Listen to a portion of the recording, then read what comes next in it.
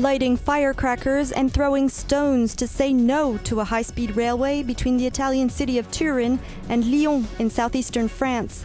Around 40 activists raided the construction site on Saturday night and clashed with police. Eight people have been arrested in Italy.